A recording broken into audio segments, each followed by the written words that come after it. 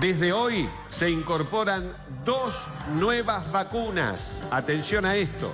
Se trata la del meningococo y además se amplía la cobertura de la vacuna que previene el HPV.